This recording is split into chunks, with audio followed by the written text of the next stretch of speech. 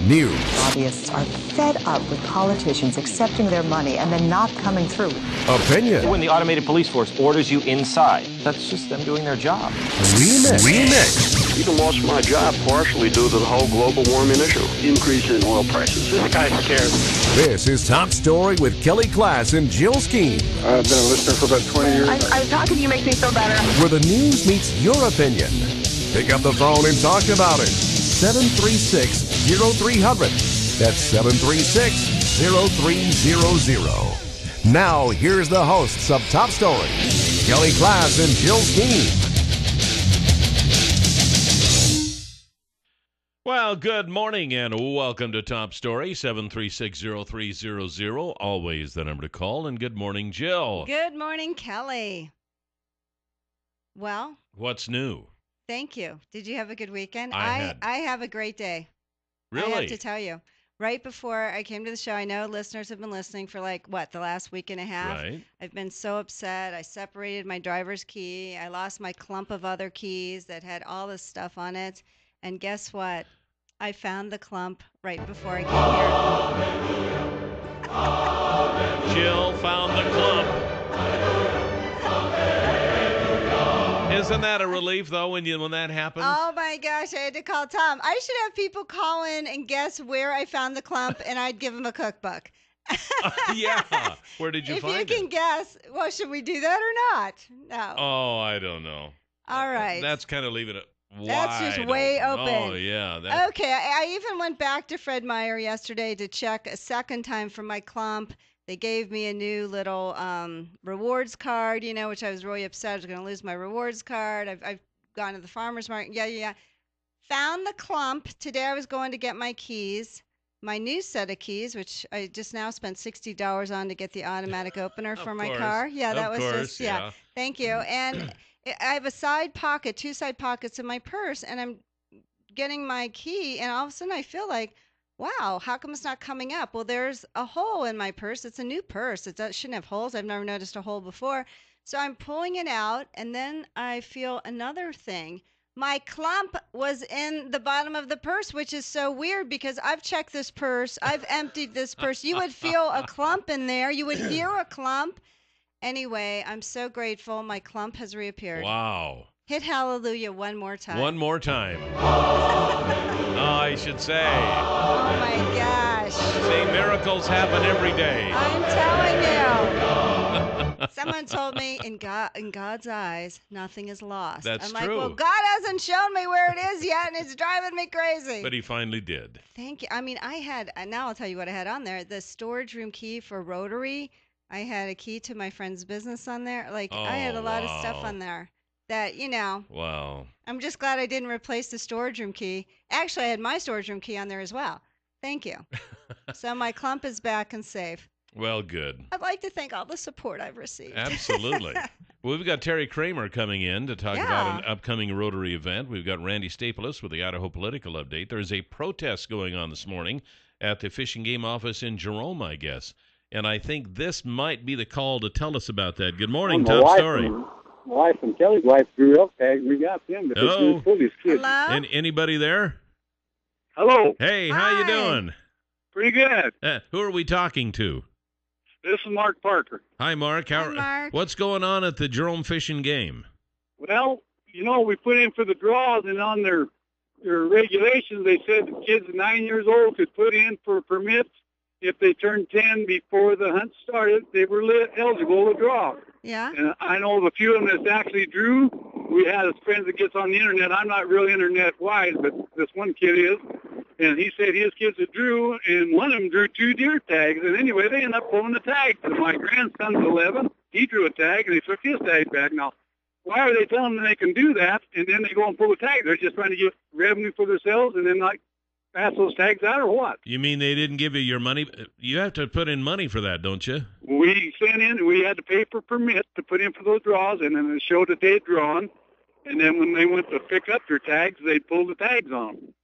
Okay, Oh. so and they're not really giving legit reasons why. I mean, Fish and Game's put this out, and then all of a sudden they're reneging on things, and there's a lot of people that's pretty unhappy about it. I want them all to call in and, and Yeah. then have Fish and Game answer this question for us because they're dropping the age limit down to where the kids can hunt, and they have to have an adult, 18 or older, if I understand right. It, it's getting a little ridiculous, all this hunting and stuff. But this money is supposed to be out to help the game and wildlife, and, and we're seeing a lot of money going into their new vehicles and all their buildings and stuff like that. But we're not seeing. They used to have a bird farm over in Jerome years back.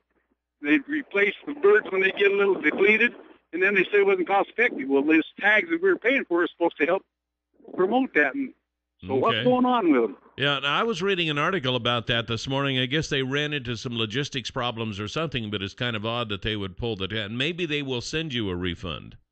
Well, I hope so. Half Yeah. time, usually they don't give you the refund on your permit. You know, when you put in, they'll, they'll if you draw and they pull the tag, they better they should give a refund. There's a lot Yeah. of people talking about going hunting out of state and not even paying for Fish and Game this next year, Hmm. and that's not going to help Fish and Game a bit if they start losing revenue. So you've got how many are over there protesting?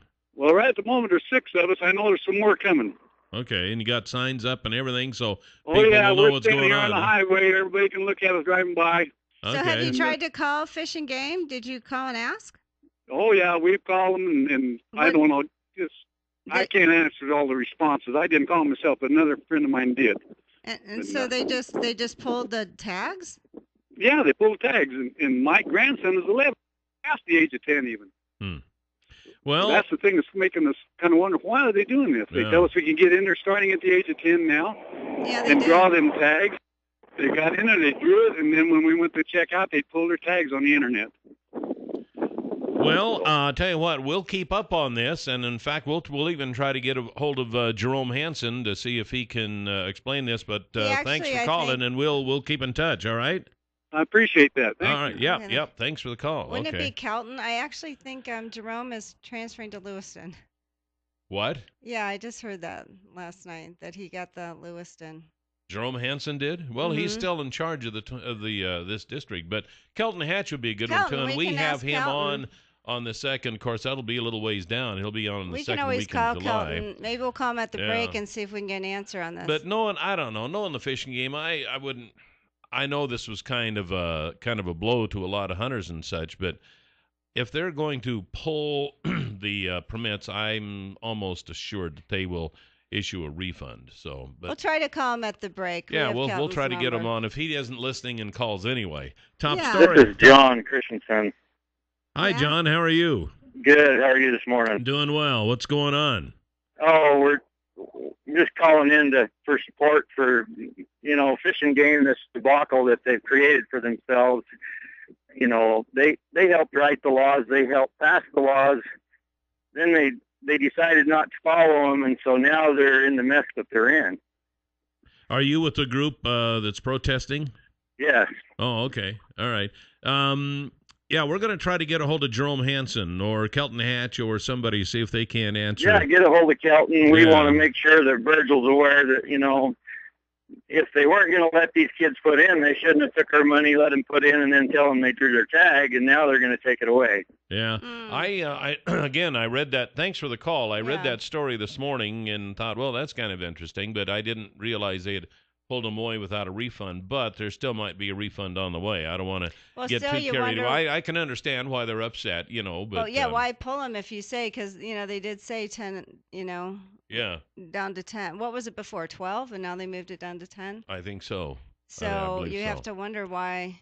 Anyway, I- I, I we'll, can't we'll try to get imagine. a hold of Kelton at the break. I can't imagine Fish and Game pulling those back after you paid money and then not refunding the money or doing something to make up. You know, I, I first of all, I think that would be illegal, and uh, yeah, second, secondly, it would be secondly, it would be unethical. But why would So, you? uh, why would you do that to yeah. little hunters? They're trying to to build that up. Yeah, I don't know. There was some sort of a logistics problem, or somebody was complaining about something, so they were pulling back and and kind of regrouping on this. so they uh, weren't. it according was a bad the, uh, rollout, apparently. uh, I it was a know. bad rollout. Yeah, uh, Terry Oh. Kramer's here, and he's shaking his head Shaking- yes and shaking his a July a July first thing. Oh, you got to wait Oh, till July okay. first, Terry. So, Oh, so- the ones who pull them will get their stuff back. Oh, now he don't. So so you had all this good information And now until it really get down to it really gets good, and then you don't know. Terry, what's what's the word? Uh, he's being quiet He's now. like- he's, yeah, he's going to wait. We'll, we'll talk the to him. We're going to we're going to talk to Terry Kramer about an upcoming Rotary. But we got another caller coming. Let's see if maybe they know something. Top story. You're on the air. Good morning. Hey, good morning. How are you guys today? Doing Good, well. How are you? Good. Hey, I read in the regulations because my boy just turned 10, and my boy understood it as they can put in for the second chance drawing in August, but not the first one because the law doesn't go into effect till the 1st of July. Oh, so that's That's why. what it was then. Okay, so That's the way I read it. I didn't put my kid in because it stated right there that yeah. their age, they have to wait till after the goes into effect. So then they. So I. So the ones who pulled. I'm assuming the have to- ones who made that mistake maybe will get their money back. That's what I would guess. That'd be the right Uh. thing to do. It's just an honest mistake, but it states in the regulations, unless I misread them, that not until the second chance drawing. And Oh, Okay. Well, we'll try to Well, get that's what. Yeah. All right. Well, hey, thanks for that input. Yeah, we'll try to get a hold of Kelton or Jerome Hansen or somebody to find out about that. Uh, but uh, wow, here we Wow. are. Monday morning controversy already. Protesters at the Fish and Game office in Jerome. So Well, I'm But, sure um, they're. they're you know, I don't know. aware. I, I've dealt quite a bit with the Fish and Game uh, around here, and well, should we try to I call don't think Kelton they're gonna. now? I don't think they're gonna leave you holding it. Well, we're just, we're coming up on a break. oh yeah, we are. Do you have okay. his? Do you have his number in your I cell phone? do. Why we'll call him at the. We'll call him at the next segment and yeah, see if we can get yeah. him. We'll we'll call him during the break. See if we can Yeah. get him on and and just or at least have him give you an answer. yeah. If he's too busy to talk, maybe he can at least give you an answer. Maybe yeah, don't he's, worry. you know, So in we'll a throng of that. protesters, and he can't get to his phone to call us. That's right. Good luck, Kelton. Good luck. so we'll we'll try to find out about that. Speaking of uh, July 1st, we got the July 4th weekend coming up, and gas prices are up. Prices will average about 3.68 a gallon for regular grade gas, which is up 17 cents from last year, but well below the all-time $4.11 record set just after July 4th of 2008. Mm. You know, I know people complain about gas prices going up a few cents and going down a few cents, and I used to do the same thing. And finally, I just realized, you know, it's just the way it is. There's Yeah, it is. nothing we can do about it. Uh, whether they're taking advantage of us because of the situation in Iraq, Or, or every just- summer or it goes whatever. up. Yeah, every, every summer, summer. it goes up. Sorry. it's just it's kind of picking your battles. You know, Yeah. uh, that is a battle, but there's other battles, I guess, that are that I have a better chance of winning. uh, I do know this, though. If I were going to sell my home, that would be a battle, but I would take that battle away from myself by giving it to the folks at Core Group Realty because that's what they do. And uh, the uh, Gabe Cordova and the crew say if you want to sell your home, give them 24 hours. Just give them 24 hours or 48 hours, but be serious about it because chances are if they list your home, it's going to sell because they have a whole database of buyers right now who are ready to buy. They've been pre-qualified or they have the money all the way up to $600,000. So uh, if you're selling your home, you're going to upgrade or you're going to move out of the area for some reason, Core Group Realty is the place to go to sell your home. 933-2673 or get more with core.com. If I were going to sell my home, I would be calling Gabe right now. So you should do it if your home, if you want to sell your home. The key is if you want to sell your home. If you just want to fiddle around, then don't call them. But if you want to sell your home, call Core Group Realty. We got more coming up. We'll try to get a hold of uh, Kelton Hatch or Jerome Hansen here, get some answers here on Top Story. Whenever the music starts. You ready? You're on, Jill. Hi, hi, Jerome. Well, Am I Kelly on or are you on? stand okay, by. welcome back to Stand Top by. Story. okay. We have Jerome Hansen on the line. Oh, my and gosh. He had just pulled up to the. You got to lower that music count. Okay. All right. Now we're now we're going here. Okay. Okay. Jerome Hansen, are you there? I am. How you doing? Thanks, Good. Jerome. How are you? We're doing okay. Well, we got some calls this morning uh, from folks saying that their their kids who are under 12 now put in for the youth hunt. They drew and then they withdrew the tags and they were a little upset. So we thought, well, I'm sure there's an explanation. So let's call Jerome Hansen and get it all straightened out. well, here I- I don't know exactly where we sit, but I what happened? We have the new law um, that allows um, ten year olds to hunt big game, Right? Um, and but because the new law didn't take place until July 1, those younger kids weren't eligible to put in for controlled hunts, Okay. which we t- typically um, do in June. Okay. So, so then, so you withdrew the ones that that got the tags, right? Well, no.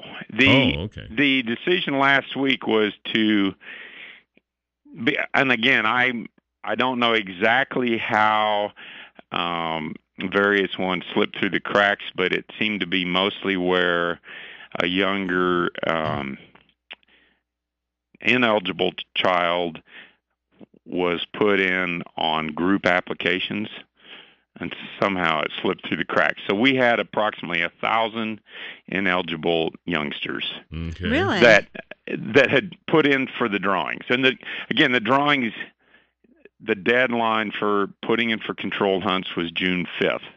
And then sometime after that, we do the actual drawing in June. And so when that was all said and done, when the smoke cleared, we had several ineligible youngsters. And hence that would have made the uh, other folks on the group drawing also ineligible. Oh. Okay. So I think at that point we were um, kind of between a rock and a hard place in terms of which direction to go. Do we um, kind of redo the whole thing or let those ineligible folks stand?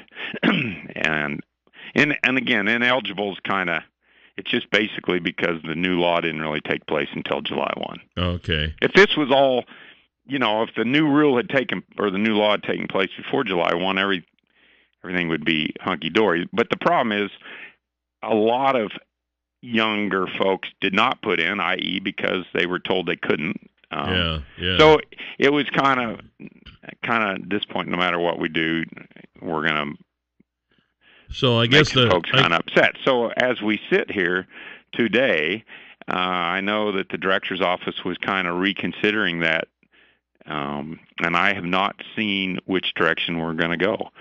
Uh, so we've got folks out at the road, um, which I assume those folks are upset Yeah. Uh, from last week's decision. Yeah, yeah. Uh, they were, and I was just kind of curious. So you don't know what's going to happen yet. They may, they might go ahead and be able to accept those, or they might get their money back, or what? They might be out out of luck and no money. well, again, the decision last week was to accept the ones that had put in.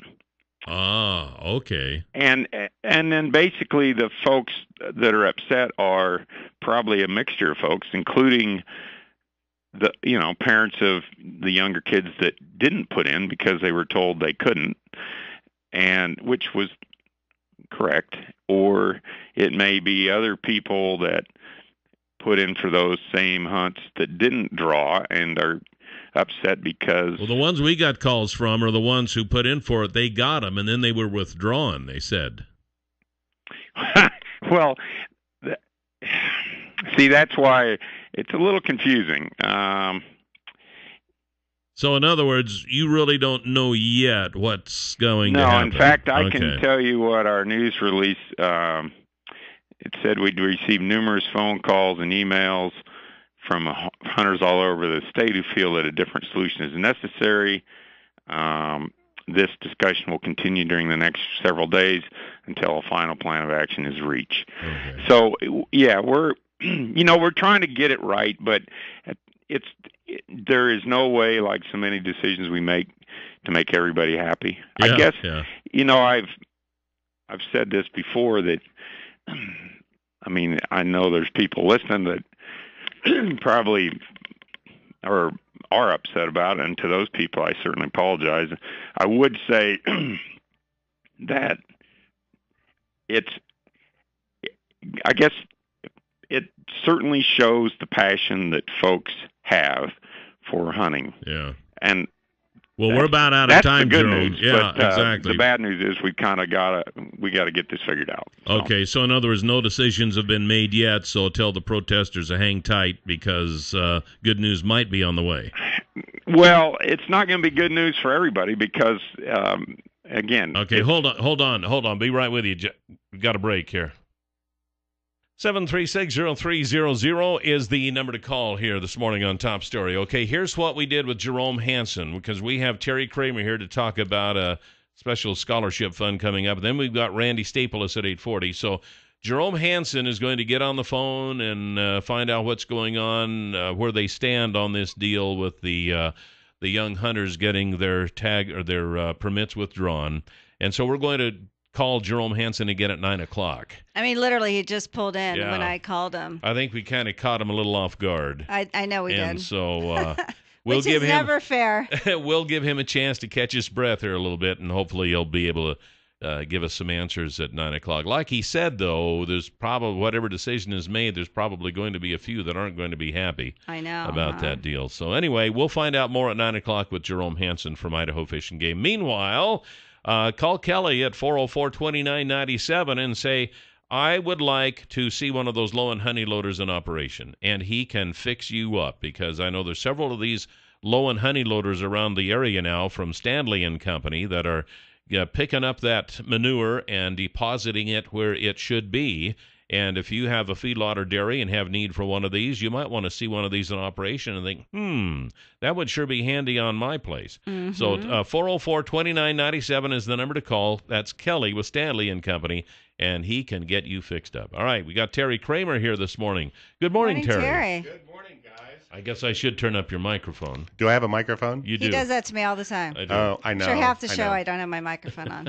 I think he does that on purpose. oh, I know he does. Yes, Well- exactly. You've come down to the bottom of it, Terry, so what do you got going on? because you're So- here for your Rotary. I am here to promote the Buhl Rotary Club fundraiser. We've done this for three or four years, and it is a scholarship raffle. We have worked in conjunction with CSI to get a one year full tuition scholarship for CSI for anyone who wins this raffle. Wow. So we are selling tickets during the Fourth of July, and then on the twenty uh, on the twenty fourth of July, the end of the month, we're going to have a drawing for one spectacular winner for a scholarship, and this scholarship is good for the 2014-15 school year or the 15-16 school Oh. year. So you have two years to use the scholarship, fully transferable. So Is there an age limit at if, all? Nope. So if but if a grandparent wins it, they can give it to their grandkid, or maybe grandma wants to go Oh. back and get a degree. Oh, so wow. That'd be nice. it's totally transferable. You can use it for anyone. The people that have won it have been really excited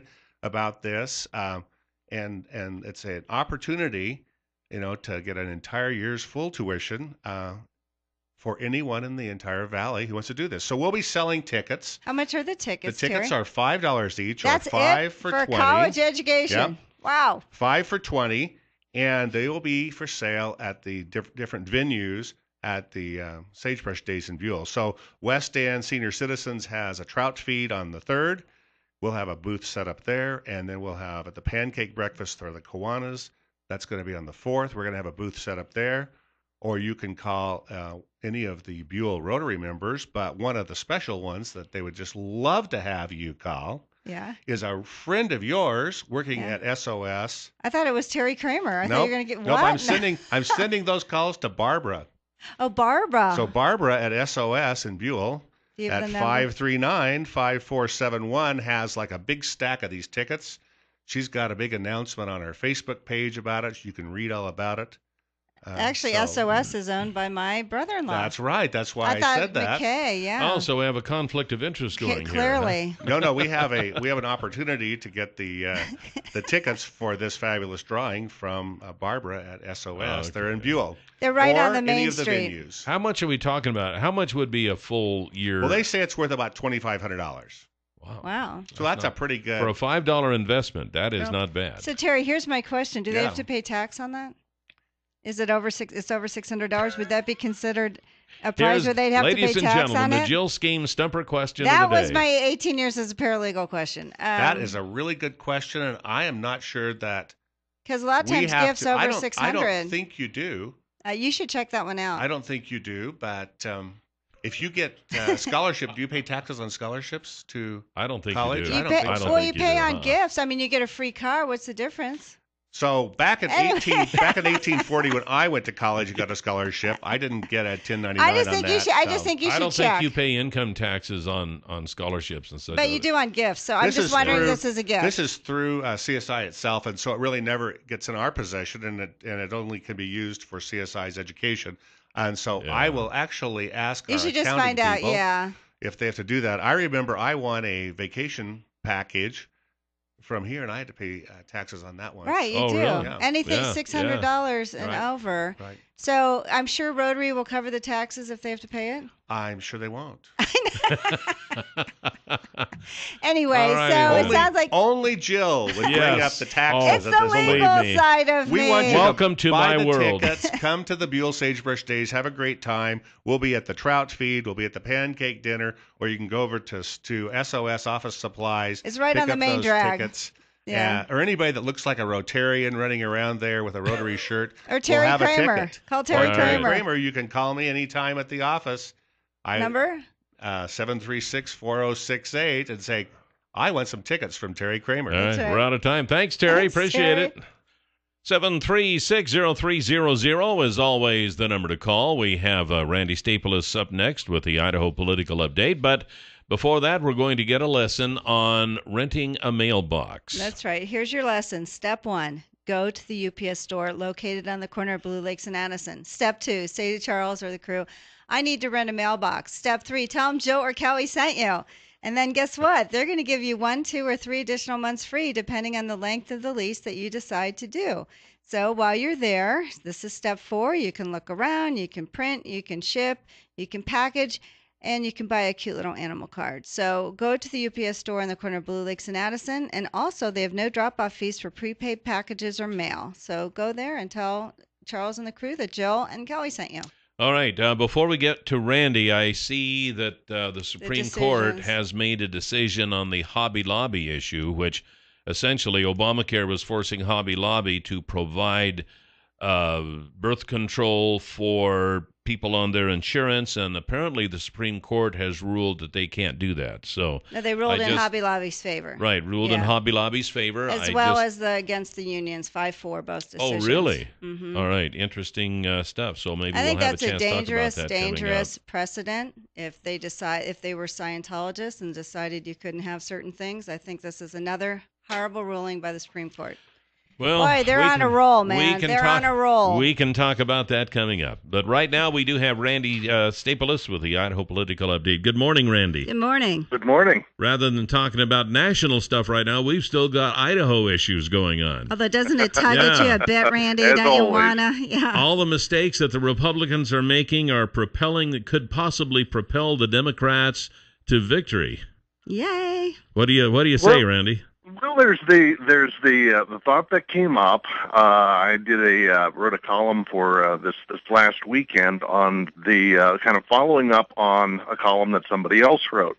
Uh, Mark Johnson, who used to work for Cecil Andrus years ago and has been a kind of a political consultant and and doing a number of other things in recent years, made the point that if you look back over the last half century and more, of, uh, of Idaho political history. It's usually been on occasions when Republicans make mistakes, when they uh, uh, when when something goes wrong with either a specific office holder or something a little more broadly, that Democrats wind up uh, uh, being able to take advantage and, and seize an office or two or 3 and uh, that's happened over the years. And it it usually takes some pretty clear, identifiable sequence of mistakes, something that that really kind of grabs people's attention and holds their attention for a while, uh, leading up to the election. Uh, now, I'd, I'd I'd have to say that this year it's hard to know yet whether that's going to be the the, the kind of situation that's uh, that's going to arise. Well, and then We're too, still the too far away to know for sure, but the potential's there. In the past, yeah, you pointed out that uh, those were like for individual office holders, whereas this deal we have today with the uh, the situation at in Moscow at the Republican convention. This kind of deals with the entire Republican Party. So, it, in a way, I guess it's kind of apples and oranges, wouldn't you say? Well, to a degree, but uh, but there have been occasions like this where where the party has uh, has uh, uh, paid a price a little bit more broadly. In 1990, the party was was pretty deeply split, not as not as uh, as uh, as deeply split probably as it is today. But uh, there were there were factions that were really going at each other then, and they paid. That was one of the reasons that they paid a price then. In 1958, which is the last time, if you go back in, in history, that's the last time that Idaho Democrats won the legislature. That's how far back you have to go. Mm. But the last time that they did that, you can trace the reason for that specifically to a Republican initiative that year in favor of right to work. Now, years later, the the climate in Idaho had changed, and voters supported right to work. Mm-hmm. But in 1958, they weren't there. And when Republicans pushed that, Democrats pushed back, and they won practically everything. Hmm. They just swept the uh, swept the ballot for every office except governor. Interesting. And uh, it uh, you you know you know it takes a little bit of uh, of calculation at all times to recognize where you are, where the where the people are, and make sure that you've got some alignment. So what do you? What's your gut feel for this year? Well, my gut feel for for this year right now is that probably Republicans will mostly right themselves in time. Uh, they're they're not doing a very good job of getting that taken care of promptly. No. Yeah. They they they uh, they're not going to be meeting in terms of their party organization until early August, and that means that they're going to be sitting here with more headlines, more people sniping at each other, and with the situation undetermined during a period when they should be organizing their campaigns. Yes. And that's what they would ordinarily be doing. That well, and the candidates will be doing that. Now But there'll be a lot of Republicans who'll be sniping at each other during this time. we've got two meetings coming up too. It's August second for what you might call the more traditional GOP, I guess. Then you got August 9th, which is the one that that Barry Peterson has called. So, uh, how are they going to resolve this, or are they, or do, or do they need to? There, well, there is, there is. Everybody does seem to agree that that the party's central committee, which is uh, which is made up of members from all the counties, from across the all the counties, legislative districts, membership from across the state. Uh, there is, I think, general agreement that the central committee is the group that can finally resolve it, make a decision, and then move on. Um, and that's kind, and that's the one on the second. that's the one. That's the one on the second. Yeah. Okay, all right. So we'll see what happens then. We'll see whether whether everybody accepts that. Uh, I don't think so. If they, an- if they have another meeting August 9th, how could everyone accept the results of August 2nd? well, that's a good question. Uh, and and you know, there's there's kind of the point where where you would think that there would have been an acceptance of what the what the uh, kind of the reality of the situation was before this point. Uh, I, I would think that in most past years, a decade ago, say, I don't think that something like this could have happened. Yeah. Now I, there I don't. I don't think that it uh, it just would have been in the cards at all. there was uh, Uh, there was a but- a don't know, let's see, is a former legislator or a current legislator, a Mr. Razor, I think it was, out of Rexburg, who said Mhm. who was was kind of on the Barry Peterson side. He said, "Oops, sorry, I read yeah. those. I read the rules wrong. The uh, chairman and elected officials are only in for two years." He says, "I goofed. I made a mistake." What's that? What what's that going to mean for the April or for the uh, August 9th meeting? Well, you would think that it would that it would help kind of set the table for that in a pretty clear fashion. I think that ultimately what's probably going to have to happen is that there will be a new election for chairman. And what part of what makes it a little bit more complex is that it's not clear if it's not Peterson who it would be because there were there were two other candidates for the job. And there, by the time uh, the central committee meeting comes around, who knows? There could be more than that. Yeah. Field could have changed yet again. And the ones who wanted So- to, they might have decided, I don't want to have anything to do with this. Well, that's always possible, and and uh, you know you could wind up with the with the situation of of uh, a, no leadership really on the one side, and and uh, some leadership on the other side, which seems to have uh, not enough people supporting it, and uh, and not enough uh, not enough of a base. Now they said also it would affect how many um, I think delegates Idaho would have at the Republican National Committee. I think last time I, I misspoke and said convention, and that starts August 9th. So we would go from three to two if this isn't resolved. Isn't that correct? Yeah, that's true, but uh, it, that probably won't matter an enormous amount for the short term.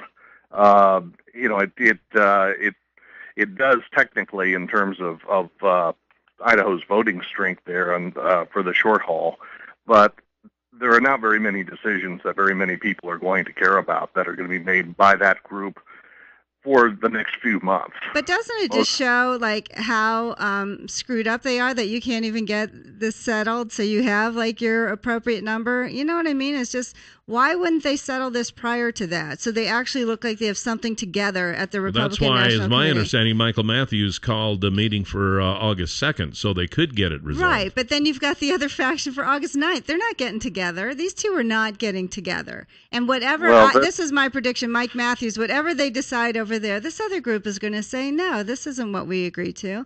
I don't know how you get the and, two together. Well, and that's and and there the other part of it is that there may simply not be an agreement at all.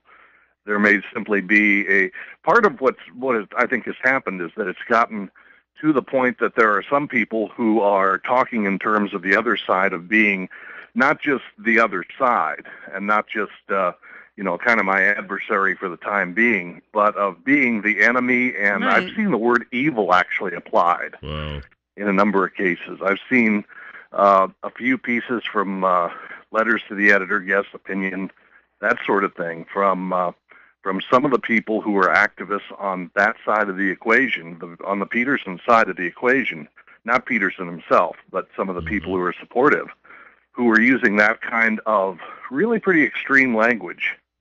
And when it comes to that, then uh, how do you uh, how do you compromise with evil? How do you uh, reach a resolution with evil? And one That, group is uh, there not that, to that becomes compromise. a lot more problematic. Yeah. Well, okay, we do have a, some other issues going on besides the Republicans, I guess. But I guess starting tomorrow, Idaho will be taking over the uh, Idaho Correctional Center near Kuna. Are we going to be ready for that? Well, the state uh, Department of Corrections maintains that they have, and, and I suppose that it should uh, that it's likely that they will be. Uh, they maintain that uh, that they've uh, been working on it pretty steadily now for quite a while. They certainly do have experience with running prisons. It's not as though it's a new th- new thing for them. Yeah. It's uh, that's been their job. They should have all the benchmarks uh, that they need from all of the other uh, prison facilities around the state. Have So they- I would I would expect that they will be ready to take it over.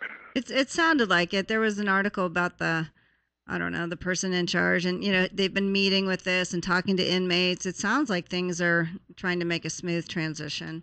So hopefully yeah, and, it couldn't be and I- worse I than think what they had. That's probably going to be the case. It uh, most likely there will be kind of a kind of a, a brief notice in uh, that you'll see in the newspapers and so on, and that uh, that this has occurred, but probably not a lot of very visible changes. Do you think If, it'll you know uh, if there if not, then I think there'd really be some real questions to ask. But the department maintains that they're uh, they're on track. They've been hitting all their marks, and and uh, that's what I would expect to see for the time being. Randy, do you think they'll it, this will save the state money?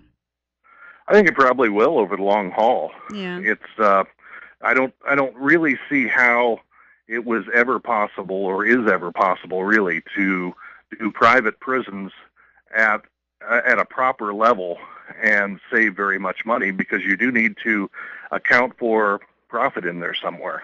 Yeah, Right. that's true. And That's what's true. happening with the lawsuit or the was it the FBI investigation of CCA? What's going do we know what's happening with that? Not too much more. We'll probably be seeing more, uh, uh, some more developments on that over the next few months, but that's been fairly quiet for a little while now. Yeah. I expect that we will be hearing a little bit more about that, though. Well, one last question. When you only have a few seconds here, but it looks like uh, job growth is expected in the state over the next 10 years. I wonder if that's minimum wage jobs that they're expecting or if they're better paying jobs. Well, I'd take a look at what's what's been happening in in Idaho over the last couple of years, And minimum wage will probably be heavily represented, but you'll probably also be seeing some of the kinds of things the Magic Valley's been seeing in the last uh, last few years too. More mixture of the of the kind of a mixture then. Kind of a mixture. All right. Kind of a mixture of that. All right. Well, Randy, we are out of time. We appreciate it, and uh, I guess we'll see you next Monday. We'll talk to you then. Thank you very Randy. much. Thank you. Randy Stapilus from Ridenbaugh Press at ridenbaugh.com. You can uh, read, uh, hear his uh, weekly report right here on uh, Top Story, and also you can uh, subscribe if you like to his weekly update at ridenbaugh.com. Coming up next hour, we're going to try to get to the bottom of this fish and game deal on uh, having the kids permit hunting permits for controlled hunts pulled. So we'll be talking to Jerome Hansen from Idaho Fish and Game right here on Top Story.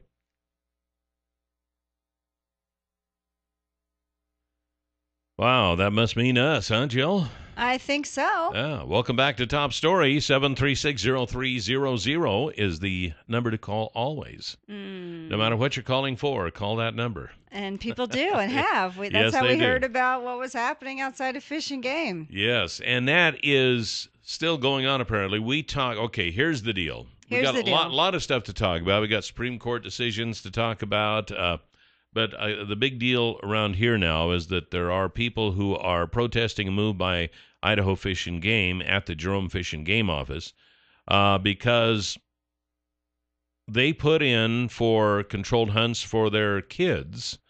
The kids, some of the kids drew the permits, and then Fish and Game said that they were ineligible because they wouldn't be because when they applied, the law was not in effect yet. The law goes into effect tomorrow. So what they had, according to Jerome Hansen, who's the current director of the uh, Idaho Fish and Game for this district, said that they were ineligible. So they revoked those permits. Mm-hmm. Uh, now they're trying to decide what to do, and and this is where the rub comes in. If they decide to allow those who drew, even though they were too early before the law took effect, then the ones who did not apply because they knew they were not eligible and wouldn't be till the second draw, Mm-hmm. they those people are going to be ticked because the first group of people Right. apparently shouldn't have put in for the draw. You see what I'm saying? Mm-hmm. So, and then the first group who drew, if they find those ineligible, then they are going to be ticked because, well, they sent in their money. So, Well, probably also- what's going to happen is, well, I don't know what's going to happen. And Jerome Hansen, he's out talking to the protesters right now. So I just called. Well, there were a and, uh, thousand kids that were ineligible. Yeah, exactly. And they said that if they were on what an application with someone else, those people were ineligible as well. Remember? They That's said right. Everyone, yeah, yeah, that's right. That's Yeah. right. Yeah. So it's not just a lot the of kid. stuff. A lot of stuff going on here, and we got a call. I told a lot of unhappiness. Okay, told see Jerome if it's to him. call the hotline Okay. if you got a chance. Top story. You're on the air. Good morning. Good morning. Morning. Good morning. This I apparently just isn't wanted Jerome. to Okay. mention on that hunt, though. I mean, you know, and Hansen didn't mention this in the regs. It is said that they're not eligible till after, till the second drawing. Right, but uh, so- so apparently some people misread that. Well, apparently they didn't read it, and it Yeah, comes across read it. like the director feels like if enough people break the rules, it's okay. Yeah. Well, see, that's what they're. I understand. Yeah, I know where you're coming from. The uh, according to Jerome Hansen, Fish and Game Commission is uh, going to try to figure out how to handle this. But so, in other words, the, the way you put it, it's a it's an easy decision. They're in, ineligible because they didn't read the rules.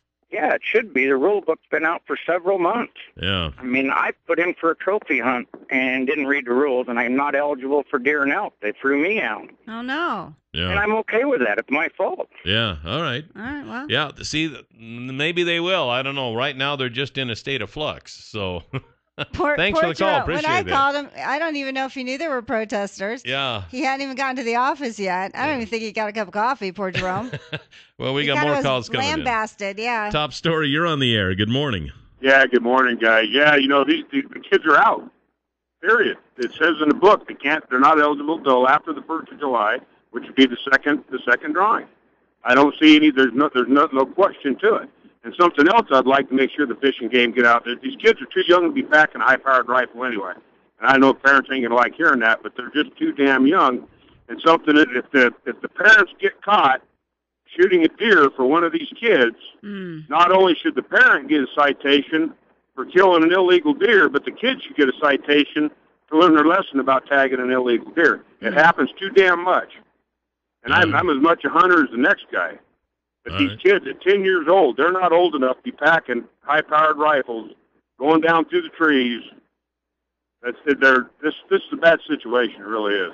You know, I have to admit, uh, now that you It said seems that, young. I it did kind of cross my mind when I started shooting. I don't know. I was well, I was little, but I started with a 22 rifle. You know, I mean, anybody can shoot a 22 rifle, and yeah, some of these rifles, a 30 six, uh, you know, 308s and stuff like that, they get up there in pretty high calibers, and some of these 10 year old kids aren't very big. I kind of wondered about that myself. I I, mean. I'm all in favor of introducing kids to firearms as early as possible, but but maybe there are some instances where it's just not that prudent. 7360300, top story, you're on the air. Well, I don't know if I agree that a ten-year-old is too young to shoot. I, I mean, he he well, is. he qualified, Dad. He said uh, to be lugging a high powered rifle around in the bushes. I mean, yeah. Well, you go back far enough, kids that old are going out to hunt for the family. Uh, but anyway, my big thing is, is if these guys put in for a draw that they weren't qualified for, how many people, like including myself, Mm. that put in for the draw and paid the money, didn't get picked because right. a thousand of them did. Right, exactly. that's and, a and that's point. yeah, that's where the rub that's where the rub's going to come in. This thing is just But, um, exploding. Yeah, and then and then it's like I think, uh, and I wish Jerome was here with us, but he's out talking to the protesters right now. But it's like you said though too that uh, the group, if they put in for a group, Right. and one of them was ineligible because it didn't, the law hadn't gone into effect yet, then the entire group is out. Yeah. So, but but their just, rub uh, is is that well, Fish and Game accepted that and accepted their money, but I guess they have to go through those to make sure that you Well, know if they you have have to go through them six- and make sure they're all Yeah, if you have five or six on so- there, I mean, it probably would take a, t- a time to say, oh, this, you know, yeah, and I don't know how they do that. I don't know how they cross check those. I know they do. I do know one thing that if you uh, if you get a hunting or fishing license before you are eligible, Yeah. say you just moved into the state and you haven't been here for 30 days and you get a resident fishing or hunting license and you're not eligible, they will catch you and find you and probably fine you. Fi- oh, So, find you. And Idaho fine Fish and you. Game Yeah. is. Uh, I know they've always been No really up on. I have. unturned. I have talked to people who have been in this state for a year, and the Fish and Game caught up with them and said, "You know, when you first got here, you applied for a hunting license and you weren't eligible. They don't mess around. so so they come after you. We could get them after at Al Qaeda. At least they used to, and I'm assuming they still do. But uh, if we can't talk to. Uh, oh, maybe Jerome Jerome. Hansen. I left a message on his cell phone. Yeah, wow. Because we had arranged for him to come back on the air at uh, at nine o'clock. Maybe there was a Uh, bigger uproar going on. Than well, we there could have been. There could have been. Because And I know more people were supposed to. to be going down there. I know he wants to talk to the people who are actually there in front of the office. Well, how do people? So- How pe- how would people think they should resolve this? Because the last caller made a very good point. He It- did. It, prevented a thousand people from getting tags Who because legally these, yeah, applied for 'cause it, yeah. these um, kids were now ineligible. So what do you do then? Do you then extend the the draw? What do you do at this point? Do you redraw? Like what? And then the ones who have it legally, what do you do? Or do you just do the ones that you you don't have? I I don't know. This is tough. This has Yeah. a lot of facets to it. I don't know. Maybe not as tough as you would think, because if they did not read the rules and that was stated in the rules, and they either did not read it or ignored it or whatever, then it looks to me like it's a No, that part is situation. that part's easy. The part is what the last caller said. If those thousand prevented other people from getting them, you never know. Well, but but it could. How could it not? There's a thousand people that went to the thousand tags went to people I that would were ineligible. I would think if they truly decide that those thousand are ineligible, then they probably need to redraw. I would think for those. uh, those all say if they have a thousand that Yeah. they withdrew, then they probably need to draw another thousand. I would think So you'd have but to have another job. I'm not in Idaho Fish and Game. So and then how bad would you feel if you were in the group with the kid who was ineligible, and then made you ineligible when you got the Uh, tag. understood, but if the rule was I the know. rule, and you know, if there are six people in the group and none of them read the rules, then it's frankly Hey, let's just put There. Bobby on here. Okay, they said they could accept 10 year olds, and then you're all screwed. So I don't know. It This is not an sounds to me like solution. fishing, like somebody in the the head of the Fish and Game needs to make a, uh command decision here and decide what's going to happen. well, hopefully Jerome's going to do that and he'll get back to us on this one because this is a tough one. I don't know what other people think. How else could they decide this? Well, I don't know. I mean, that's why you have rules and regs. Yeah, I understand and that. if you're not going to follow the rules and regs, if you're going to start, that's like the one caller said. Well, if you know, if you have a thousand people who broke the rules, does that make it okay then? So no, but then you think about they're going to have to have a redraw. There's no doubt. A thousand for the ones kids who, are for the yeah. ones who did uh, put Yeah. in legally and didn't draw, yeah. sure, I would think. I would think so too. What else could be equitable? But there might be something going on here that I am not aware of too. So yeah, there's I clearly just- a lot's going on that we're not aware of. yeah, I think. I, wish. Uh, We didn't even know there was a protest till someone called in, and we right. appreciate that. That's right. Thank we you. do. Yeah. Uh, there was a couple of Supreme Court decisions this morning. Uh, yes, there were, and a lot of passion on both sides. A divided Supreme Court ruled five to four on Monday that closely held corporations, and these are actually pri- or, um, private corporations, uh, cannot be required to provide contraceptive coverage for their employees. So, in an opinion which was authored by Justice Samuel Alito, and some people thought by that that fact alone it was not good news. You know, like oh no, he wrote both opinions. Uh, the court ruled in Burwell versus Hobby Lobby and Conestoga Wood Specialties versus Burwell that the Obama administration has failed to show that the contraception mandate contained in the Affordable Care Act is the least restrictive means of advancing its interest in providing birth control at no cost to women. I'm not even sure what that means. The least restrictive means of advancing its interest in providing birth control at no cost to women. I don't know. The opinion was written narrowly so as to only apply to the contraception mandate, not to religious employers who object to other medical services. That's good, like blood transfusions or vaccines. So, the Affordable Care Act contains a provision requiring most employers to cover the full range of contraception in their health care plans at no cost to their female employees. The Obama administration had granted an exemption for churches and accommodations for religious hospitals, schools, and nonprofits, but for profit companies were required to comply with the coverage rule or pay fines. So, Hobby Lobby, a Christian owned craft supply chain store, and Conestoga Wood Specialty Store, a Pennsylvania wood manufacturer owned by a family of Mennonites, challenged the contraception mandate on the grounds that it violates their religious freedom by requiring them to pay for methods of contraception they find morally objectionable. The owners of those companies believe some forms of birth control, emergency contraception, which is really the Plan B pill, and intra IUD devices are forms of abortion because they could prevent a fertilized egg from uh, implanting in the uterus, but that's actually not true about Plan B. So if you're already pregnant, it wouldn't abort your baby. It's just hormonal would prevent you from getting pregnant. But anyway, so at oral arguments in March, the women Supreme Court justices grilled Hobby Lobby's lawyer, former Solicitor General Paul Clement, about whether a for profit company can be considered a religious organization exempt from certain federal laws. This is also disconcerting if they had, you know, anti discrimination or minimum wage, wage laws, if they felt were, oh, violations of their religion. Are you now, is this now going to be piecemeal? laws going forward. So anyway, that's what we have right now. Well, that's what the Supreme Court decided, so I guess that's uh, what we'll be living with, and uh, I'm kind of glad. Seven three six zero three hundred is the number to call here on Top Story.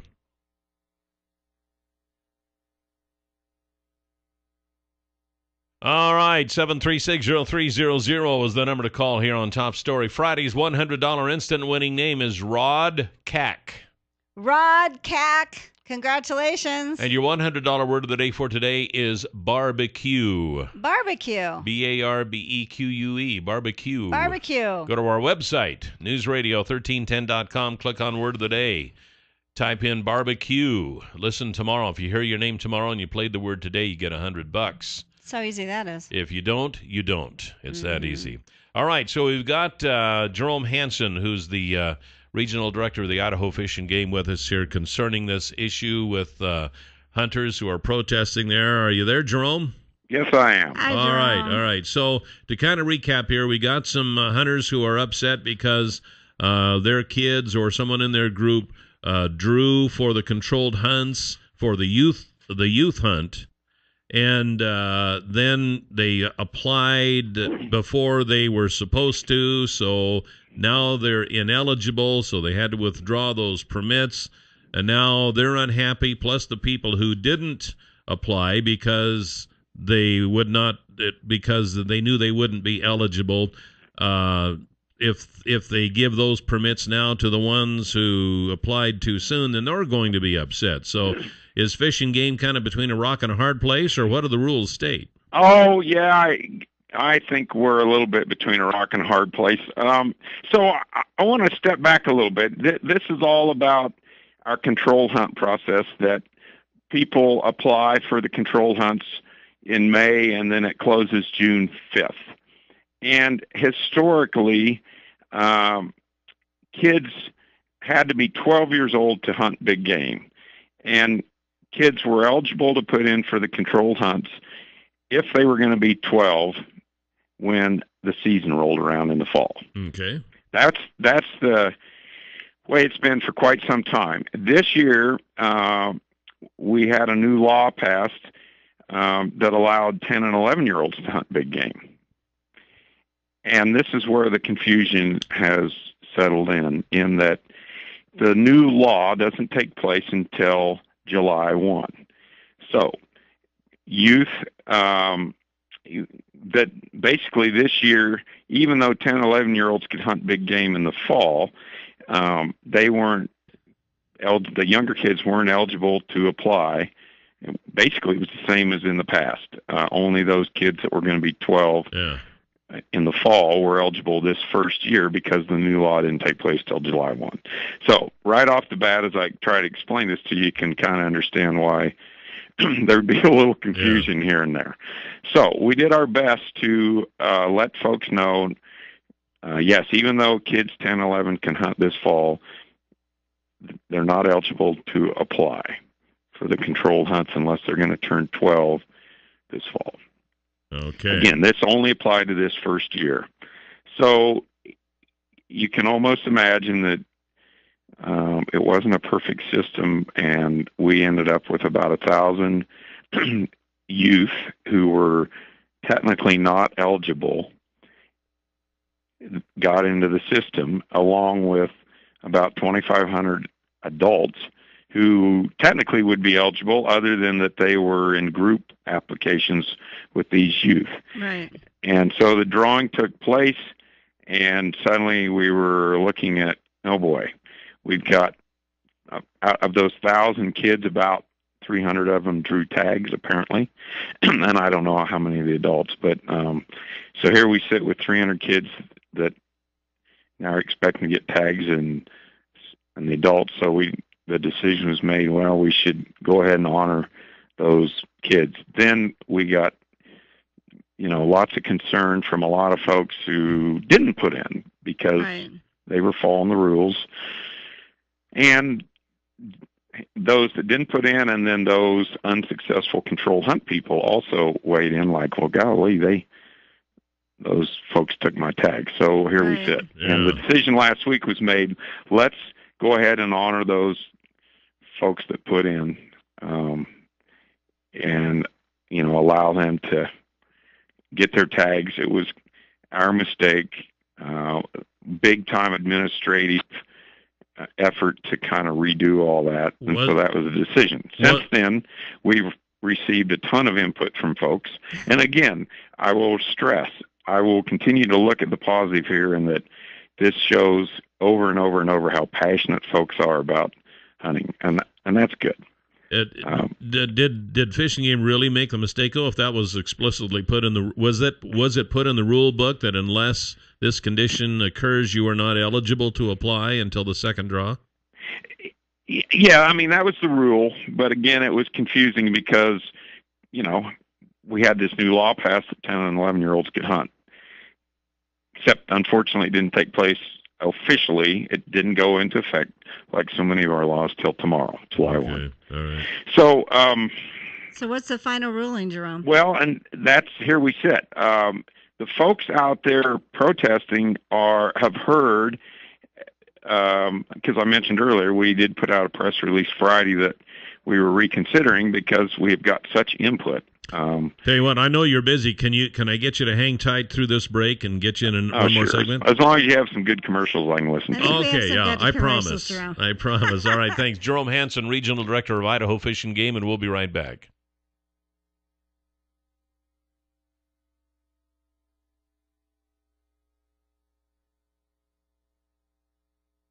Seven three six zero three zero zero, the number to call. We'll get back to Jerome Hansen from Idaho Fish and Game here in just a second. But first, the Fourth of July is coming up. It's going to be this Friday. You, you know that. that? I know. Ugh. Late again as usual. Any anyway, give you plenty of time to enjoy outdoors. You'll have a three day weekend. Well, just in time, Bish's RV in Twin Falls has all StarCraft travel trailers on sale. Uh, like a new 2014 StarCraft 24 foot travel trailer that sleeps up to six for under 19000 Plus, their entire inventory is on sale. You can literally save thousands off a new or used RV with great financing options on your approved credit, or you can let uh, let them help you in their parts and service department if you need. Uh, and accessories, they have a huge accessory department, so they're there to help you with whatever RVing needs that you might have. Uh, they're also f- serving free slow smoked pulled pork sandwiches on uh, oh okay on July 3rd and 4th. Mm. So that will be Thursday. I'm sorry, on July 3rd and 5th. The 3rd and the 5th from 11 to 2. They're going to be closed the 4th apparently. So Okay. the 3rd and the 5th go into Bish's RV at the Curry Crossing for slow smoked pulled pork sandwiches. Yum. There you go. Sandwiches.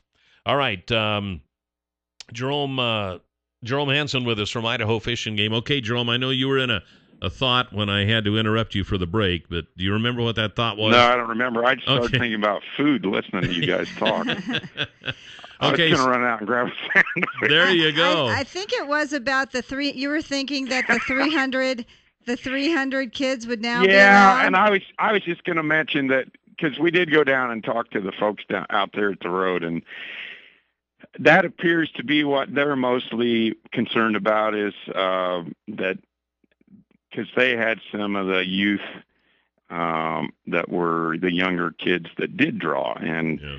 they're basically saying you guys need to, you know, we we drew, so we need to get our tags. So that was I wasn't sure what they were, you know, Yeah. exactly where they stood. So Okay. and and obviously you can understand that feeling.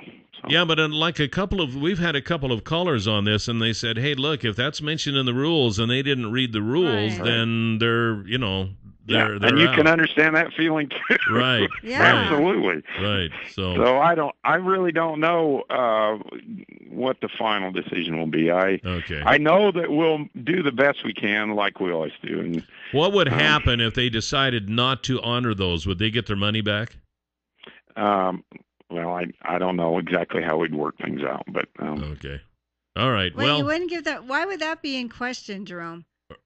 Getting giving their money back. Is there something that I don't know about? If you get your tag or don't get your tag, do you get do you keep the money either way? we do actually on the the application fee. Yes, typically. you so do you do give and in money this case, I don't know. I you know we'd have to figure that out. back. Wait, you normally give people money back, or you don't give their money back? We normally do not. Oh, do uh, the not. control hunt application fee uh, does not go back. So you're you're paying the money to be able to apply, and if you Yes. don't draw, then that's, Yeah, yeah. okay. I get you. All right. So- well, I'll tell you what. We're so gonna. we'd we'd have to figure all that out.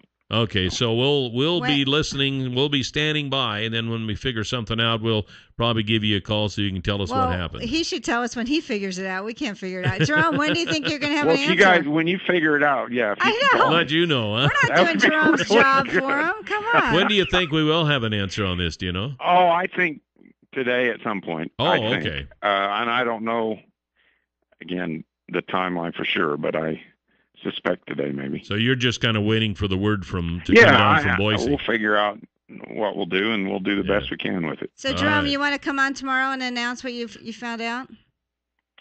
Um, I don't care. Okay. All right, We'll, well, we'll, we'll- talk we'll to you after the contact you show. after Get What you show. time of day? Well, Sometime between eight and probably ten. nine o'clock. You want to come on tomorrow nine? Uh, Do you have an answer by then? Yeah, I could potentially do that. Okay, All why don't right. we do that? We'll I pencil just, you, you in. know, I don't want to come on at one because I think the World Cup is on at one, and nobody will be listening. Oh, that's Jerome, right. don't you listen yeah. to our show? We're only on from 8 to 10, for goodness sake! I know. I just thought I'd make that point. Uh, okay, well, we appreciate that. So we'll see you tomorrow at 9 then, Jerome. Um, are you saying you want me to come over there tomorrow at nine? Can you you? either come in or we could call you. What's Oh, I'll come over. Sure. Come over, You need a break. You need a break. Get away right, from you the can come over. protesters. All right. All right. All right. All We'll see you tomorrow at 9. All right. Take care. Thanks, Bye, Jerome. Jerome. All right. Jerome Hansen, Idaho Fish and Game. He, I I think he's kind of torn between a rock and a hard place here. He's not sure what uh, he doesn't want to say something that's not right, and he's Oh. waiting for Boise to come down with a decision, and he's dealing with the protesters out in his parking lot. So he's got a, a lot on his plate for a Monday morning. Yeah, you don't want to say welcome, the wrong thing. Welcome to the week. I know, huh? All right, so we'll. It can only go uphill from here, Jerome, right? That's right. It can only get get better. It can only get All better. right, seven three six zero three zero zero is the number to call, and we will be right back.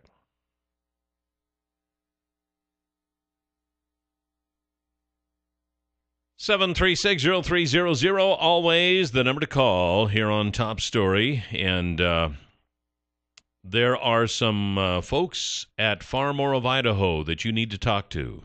Ask them about infrared Baron. Infrared Baron believes that a comprehensive imaging service should start with low cost, high frequency flights. All right, what this is, is that they make flights over your fields. They take pictures with infrared cameras. They take those pictures and they send them to you on your computer so you can see how efficient or how non efficient your irrigation system might be or how your crops are doing with this infrared photography. You can see a lot uh, from infrared photography. Ask them about it at Farmore of Idaho. This is not a costly endeavor. In fact, it does not cost, it pays. So you think that your uh, pivot irrigation is uh, system is doing well and getting all the crops watered? You might be surprised after you see an infrared picture of your crop.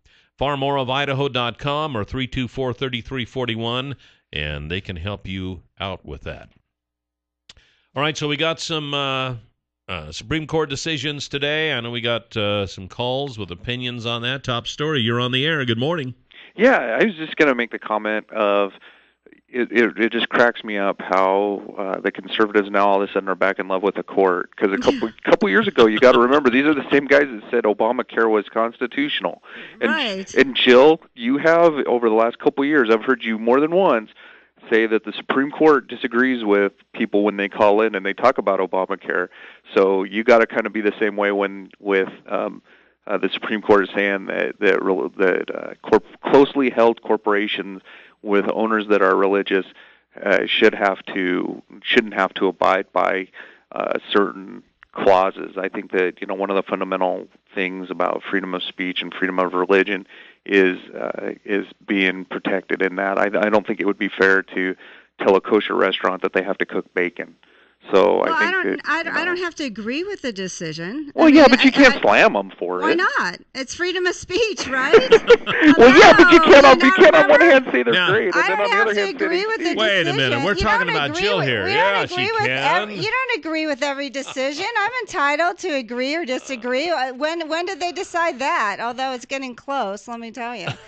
so anyway, um, boom. Well, I don't know. the The deal with this whole thing is, um, insurance started out being a perk, the to get people to, you know, come to work for you, and now all of a sudden it is a required entitlement, apparently. So. Uh, anytime you have a perk, it has always been usually up to the employer to decide what that perk is. So if perks if uh, an employer decides to give a bonus every year in spite of how things go and they do that for a long long time and then all of a sudden they decide that they're not going to do it anymore then uh, can the government step in and say wait a minute uh, you have to give this bonus? And no that's not right. It's the same thing with insurance. So when you're providing the insurance it should be up to the provider to decide uh, what kind of insurance can be provided and if you don't like that perk then don't take it Well, that's different than what this case is about. They're providing insurance, but now they're saying what these third-party insurance companies. It's let me finish. can provide. They're providing Viagra coverage.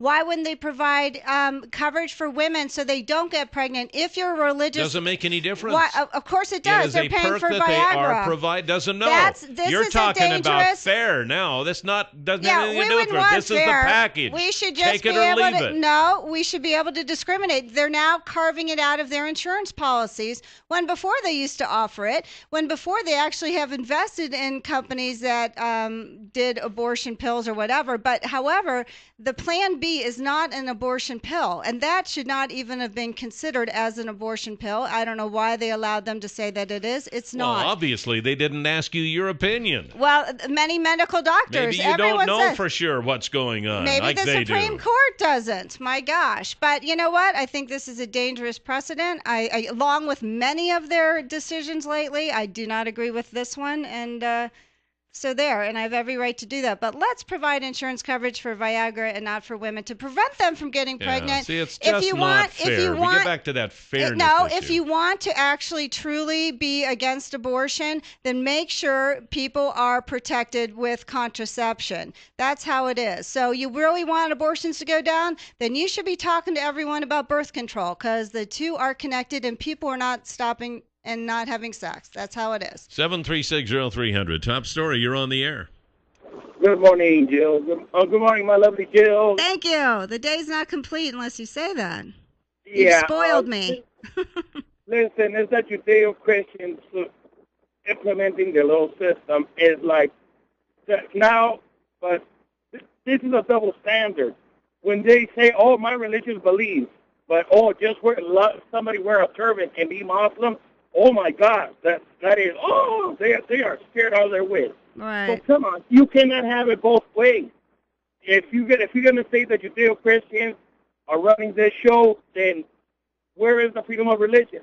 There's Right. also Muslims. There's also um, there's also Jewish. There's also Catholics. There's a whole bunch of them, and it's like no, Judeo Christians have got to take precedence on this. This is unreal. Thank Yeah. you. Well, I'll tell you what, we are out of time, but it is time for the Huckabee Report. He might even have something to say about that. Brought to you this morning by Waddell and Reed at 736 6563. You can hear the Huckabee Report each weekday at this time, brought to you exclusively by Waddell and Reed, Laura Nelson, Josh Funk, and Steve Stanger, financial advisor, 736 6563. And uh, thanks to the fact that the Huckabee Report was over, uh, I God, almost both you couldn't us. you couldn't tell me the rest of your hair story. No, I, I got it trimmed again on Saturday. The top of it wasn't. You're trying to make yourself look good for our our KLIXcast, our no, video no, no, podcast. no, no, here. I'm not. I'm not. My girlfriend started the trim in Florida. She said your hair looks scraggly at the back, and she cut my hair. And then my hairdresser had to fix it a little bit when I came back from Florida. But then when she fixed it, she really didn't fix the top, and then it was too long. She actually didn't charge me because she goes, "Wow, I really screwed this up last time." So she trimmed the top now, so it's more curly because I do have naturally curly hair. But anyway, it started with my girlfriend, my best friend. Okay, and you've been trying to fix it ever since. Well, it, you know, it starts like that, and then you know you have five inches cut off, and boom. So that's what's happened Yeah. to my hair. Okay, well, and you know what I hate most is when people go, "Oh, did you get your hair cut?" Yeah, and then they say nothing. Okay, fine. What does it mean? It looks hideous. Anywho, did I, did I do that? Did I say, Jill? you got no, your hair someone cut, didn't you?" else did. You actually said it looked nice the first time. Well, it did. It, I don't know what it did. looks like now. It looked less straggly, I guess. Fine, thank you. Okay. All right, I'll tell you about what looks less scraggly. The UPS store, they never look scraggly. You just go into the UPS store, you rent a mailbox, you tell them that Joe or Kelly sent you, and you'll receive one, two, or three additional months free, depending on the length of the lease of your mailbox. Now, people are renting mailboxes, but they're forgetting to use the keywords Jill or Kelly. So go into the UPS store located on the corner of Blue Lakes and Addison. Tell them you want to rent a mailbox. While you're there, you can print, you can ship, you can pack, you can buy a cute little animal card. No drop off fees for prepaid packages or mail, and you can easily design or upload your projects from anywhere, anytime, and they will print them for you. And they're open on Saturday. How nice is Very that? cool. Yes. Nice for us. Probably not so nice for them, but hey, who cares? it helps you. Tomorrow, Yes. we will be pulling a name out of the hat.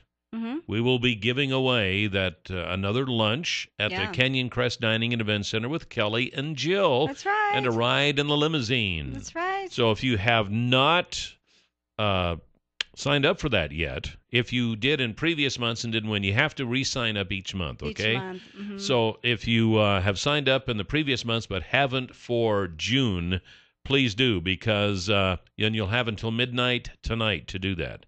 Because tomorrow morning we'll be pulling a name out of the hat, but the entries will go will end at midnight tonight. I think we were going to maybe think about having, maybe we'll have Jerome Hansen. Maybe or Steve Millington or somebody will be able to pull that out of the hat. Out of the hat. for tomorrow. All right. So join us for that then. And meanwhile, we will see you tomorrow. Goodbye, Jill. Bye, Cal.